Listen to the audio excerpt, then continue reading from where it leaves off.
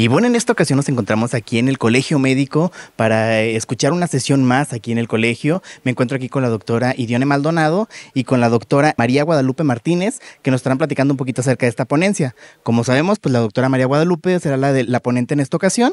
Doctora, platíquenos un poquito acerca de su trayectoria. Bueno, yo soy médico egresado de la Universidad de Guadalajara y recientemente soy egresada del programa de doctorado de farmacología, también egresada de la, de la universidad. Y eh, bueno, nuestra ponencia el día de hoy va a tratar sobre cómo podemos optimizar tratamientos en EPOC. EPOC es una enfermedad eh, pulmonar obstructiva crónica en la cual eh, en Jalisco y en México es una de nuestras principales enfermedades que genera principalmente síntomas como tos, dificultad para respirar, que puede ser tos con flema y que estos eh, generan que los pacientes terminen hospitalizados. Uno de los factores de riesgos principales es el tabaquismo, pero también el cocinar con, humo, con leña o personas que cocinaban con leña a largo plazo desarrollan esta enfermedad.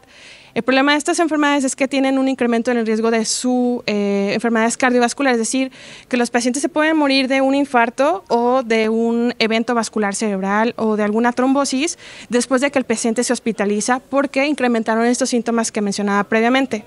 ¿Qué es lo importante en esta enfermedad?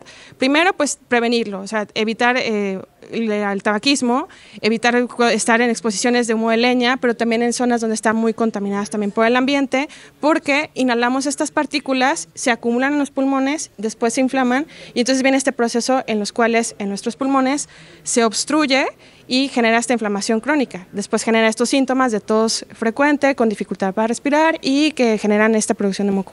Entonces, uno de los principales temas el día de hoy pues, es hablar sobre cómo podemos tratarlos para que estos pacientes pues, no terminen hospitalizados y sobre todo que no incremente su mortalidad. Perfecto, y platíquenos cómo se siente al estar de visita aquí en Tepatitlán. Pues estoy muy contenta. Eh, le comentaba a la doctora que soy de esta zona de los Altos de Jalisco, mi familia es de San José de Gracia y pues me, siento muy feliz de venir a compartir algo de lo que estoy ahorita trabajando, lo que estamos eh, desarrollando también eh, como en proyectos de investigación y todo, para que también, pues, los también sean beneficiados acá en, en Tepatitlán y en la zona de los Altos de Jalisco.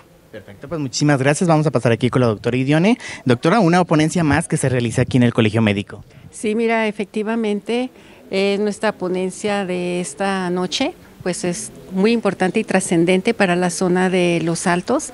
Este la participación de la doctora María Guadalupe Martínez, pues yo creo que va a ser trascendental para todos los compañeros médicos que nos estén viendo, que nos escuchen, los que están aquí presentes, pero sobre todo para la ciudadanía que, que puede estarnos viendo pudiendo conocer, pues ya lo mencionaba la doctora, la sintomatología, los motivos por lo cual se puede presentar la enfermedad pulmonar obstructiva crónica, pero también conocer cómo podemos prevenirla y cómo podemos tratarla de la mejor manera posible.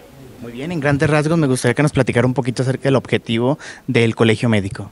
Pues el objetivo es que tengamos actualizados a nuestros compañeros médicos con ponencias que no sean exclusivamente para alguna especialidad, sino que sean para cualquier especialidad. Tú te has dado cuenta pues que hemos tenido ponencias para de varias de varias especialidades y que pues nos permiten que vayamos viendo o conociendo detalladamente este, algunos padecimientos.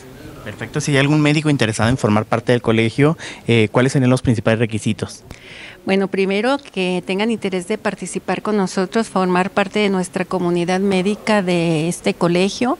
Los requisitos es que sean médicos titulados, que tengan sus cédulas, tanto la cédula estatal como la cédula federal, de médico y de especialista si así lo son, y pues invitarlos a ellos que se unan a nuestro colegio. Tenemos pues charlas muy interesantes, además de nuestra revista bimensual que se entrega este, de manera gratuita a la ciudadanía.